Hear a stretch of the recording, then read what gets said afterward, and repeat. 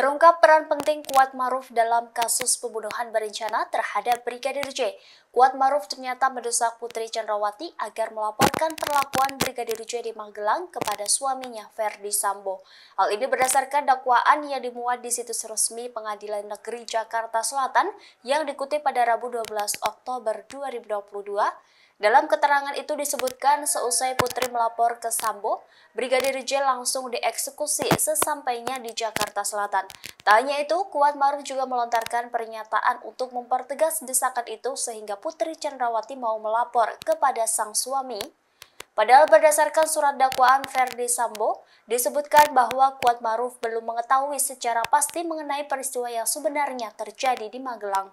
Namun sebelum mendesak Putri melapor ke Ferdi Sambo, saksi tersebut sempat terlibat keributan dengan Brigadir J sehari sebelum tewas.